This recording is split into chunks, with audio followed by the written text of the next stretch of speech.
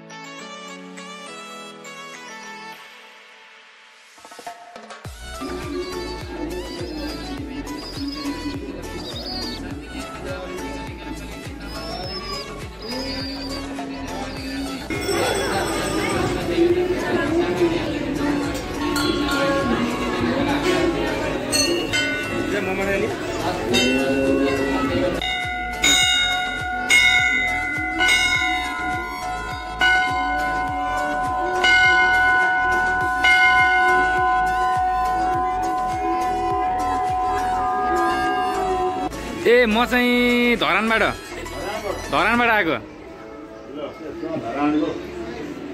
ल thank you ल पढेर जागिरी खाएर फेरि मन्दिरमा मन्दिरमा भेट्न आउनु होला। यो त फोड्नु पऱ्यो होला नि त।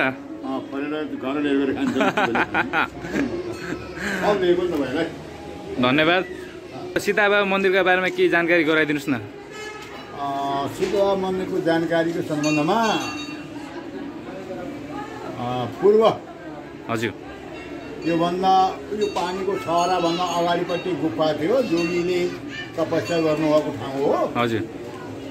र यहाँ यो जुन पानीको मूल झरिरहेको छ उहाँ भर्तीहरीले तपस्या गरेको ठाउँ तपोभूमि माथि नै छ। हजुर। हामी जङ्गलको चाहिँ यहाँ बिचमा छ जहाँ पानी उम्रिएको त्यहीँ तपस्या गरेको ठाउँ। हजुर। र त्यो ठाउँबाट पछि दुई हजार सत्र सालमा बाटो खन्दा त्यहाँ जोगीले चाहिँ अब यहाँ बाटो खन्ने बेलामा बाटामा ढुङ्गा पड्किएन। हजुर। ब्लास्टिङ गर्दाखेरि भन्दा पड्किएन। पड्किएन गरी। एकदमसित नपड्केर सयौँ फिस भयो पड्किएन भनेर अनि हाम्रो एउटा त्यो सडक विभागको डी हिमबहादुर थापा भन्ने रहेछन् उहाँ बागलुङका। हजुर।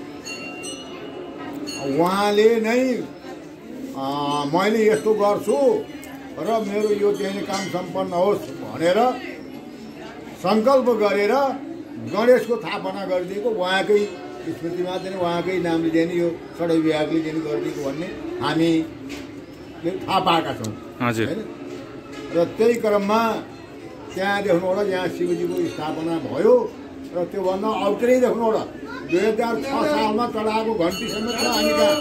हजुर। है कि? माथि जुन गुफामा चढाएको। त्यसमा यो पुरानो ऐतिहासिक मन्दिर भएको कारणले यहाँ सम्पूर्ण महानुभावहरू त्यही कारण धेरै जसोले आफ्ना माग कुराहरू पुरा भएको कारणले यहाँ चाहिँ सिद्ध बाबा। नामै सिद्ध बाबा। सिद्ध बाबा भनेर नाम रहेको छ। हजुर। यहाँ धेरै भक्तजनहरू हुनुहुन्छ जस्तो अहिले यो मन्दिर दुर्गा मन्दिर एउटा व्यक्तिले बनाइदिनु भएको छ। मनसा व्यक्ति एउटा पनि बनाउनु भएको छ। हामीले सिर्फ यो मन्दिरको समितिले यो भान्सा कोठा र माथि छत त्यो हामीले अहिले बनायौँ र यहाँ जेकी गरेर उन्नाइस लाख रुपियाँ दाम हामीसित सङ्कलन भएको थियो। र त्यही उन्नाइस लाख मध्येबाट हामी तल यो अहिले व्यापारीहरू बस्नुभएको छ फुलहरू बिक्री गर्नुभएको छ र मन्दिरलाई उहाँहरू बस्दिनाले गहनाको स्वरूप भइरहेको छ। र त्यही कुरा अ, यहाँ धेरै जसो एउटा कुरो अहिले यो बाटो खन्ने क्रममा हजुर। मन्दिर पनि उत्खनन हुने हो कि भन्ने हामीलाई अवधारणा आउँदाखेरिमा उत्खनन नहुने भन्ने कुरा पाएका छौँ। मन्दिर चाहिँ जे जस्ताको तस्तै रहन्छ। मन्दिर जस्ता जस्तै रहन्छ भन्ने कुरा जानकारीमा आएको छ हजुर। अ, सुरुङ मार्ग खन्दा पनि हाम्रो मन्दिर यथावतै रहने हामीलाई थाहा छ। त्यस कारणले हाम्रो यो मन्दिर पुरानो ऐतिहासिक मन्दिर हो। र हामी त दुई हजार पाँच सालमा जन्मिएको अब यहाँ छ सालमा जला घन्टी भनेपछि त यो थाहा भएन कहिले भयो कहिले भयो है त्यो पुरानो ऐतिहासिक अब दुई सय वर्ष तिन सय वर्ष कति किसिमको छ अघि भगवान्हरूले जे होस् यो मन्दिरमा शक्ति छ भन्ने मान्यता छ। अशक्ति छ भन्ने कुरा मान्यता छ यो मन्दिरमा। त्यही कारणले अहिले यस्तो भिडमा पनि आज देख्नुभएको छ मान्छे भिड लागेकै छ। अझै भिड लाग्ने यो ठन्नीको बढी ठन्नीको कारणले अलि मान्छे अलिक कम आएका छन्। कुन कुन बार बढी जस्तो भिड हुन्छ? सोमबार र शनिबार। सोमबार अनि शनिबार। सोमबार र शनिबार। अरू पछि पनि आइरहेछन् तर भिड हुने धेरै पूजा आजा चल्ने र तिथि पर्दाहरू जस्तो व्रतबन्ध विवाह इत्यादिमा जस्तो अब श्री पञ्चमी दिन यहाँ धेरै भिडभाड हुन्छ। सरस्वतीको पूजा पनि भएको कारणले त्यस्तै व्रतबन्ध बिहा पनि हुने। जोग परेको तिथि राम्रो परेको हुनाले त्यसले पनि बढी भइतो लाग्ने मान्छेहरू अनि। यहाँ भक्तजनहरू चाहिँ कुन कुन ठाउँबाट बढी बढी जस्तो आउनुहुन्छ? बढी जस्तो रूपन्देहीबाट आउने हो भक्तजनहरू बढी जस्तो। हजुर। र पालपात्रबाट पनि आउनुहुन्छ। आउनु त गुल्मी बागलुङ आर्काखाँची पोखराबाट पनि आउनुहुन्छ तर कमी मात्रामा आउनुहुन्छ आउनु त आउनुहुन्छ सबै राम्रो छ जस्तो जस्तो यता इन्डिया भन्नुहुन्छ भने तपाईँको गोरखपुर उतातिरका पनि मान्छेहरू यहाँ आइपुग्नुहुन्छ इन्डियादेखि पनि आउनुहुन्छ? भक्तजनहरू? धेरै जस्तो आउनुहुन्छ। धन्यवाद हजुरलाई।